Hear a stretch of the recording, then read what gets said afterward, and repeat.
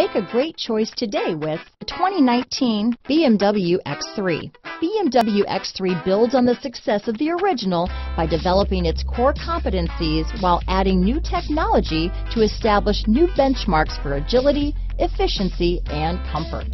This vehicle has less than 15,000 miles.